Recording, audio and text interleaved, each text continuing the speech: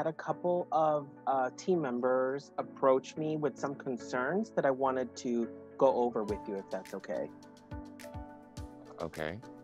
Yeah. Like what? Um, well, th- I, I was told that you were potentially making some mistakes and seemed a little distracted and stuff like that. And I just wanted to let you know I'm not here to accuse, I'm here to find out more information. I really want to know what's going on from your perspective. People need to feel comfortable bringing their emotions to work and also their intellect. Are we not just promoting people to come in and bring their full selves to work, but then are we actually allowing them to do so once they're here? Nothing major. I, I'm not really sure if, if there was a mistake that I, I don't know that I made or anything, but um, I'm just, you know, just not having a great day, I guess. Okay.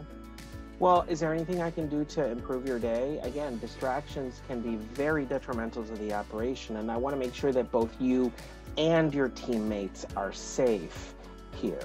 I have a job that I have to do, and I also want to be caring and support this employee. I can't do one in spite of the other. I really have to do both. The intent there is more about turning caring into action.